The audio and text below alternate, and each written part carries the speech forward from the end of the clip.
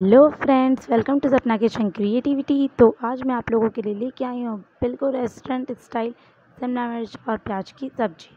तो चलिए झटपट इसे बनाते हैं। मैंने इसके लिए ऑयल लिया है।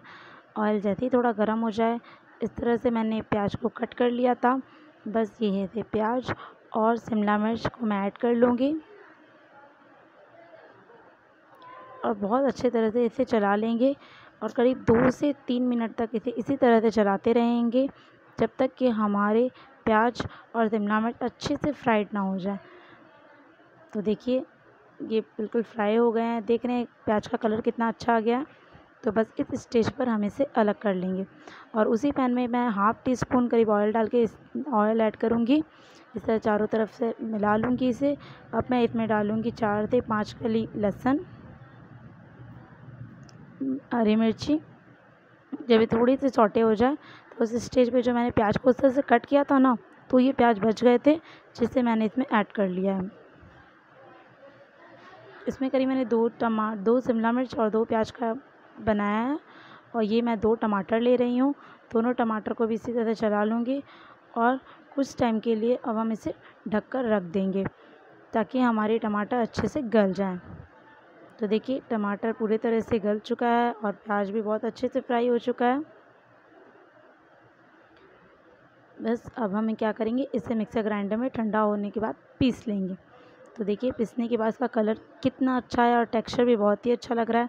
तो चलिए, अब आगे का प्रोसेस रेडी करते हैं। तो अब मैं थोड़ा सा ऑयल लिया मैंने। थोड़ा सा जीरा जीरा तड़कने के साथ फिर मैं इसमें तेज़पत्ता ऐड कर रही हूँ। तेज़पत्ता जैसे थोड़ा तड़क जाए तो थोड़ी सी हल्दी इसमें ऐड करेंगे।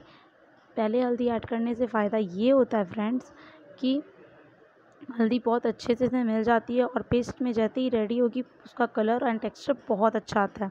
इसलिए हल्दी को ज़रूर पहले ऐड कर लें। अगर आप चाहो तो बाद में भी कर सकते हो, मगर पहले ऐड करना ज़्यादा बेनिफिट होगा।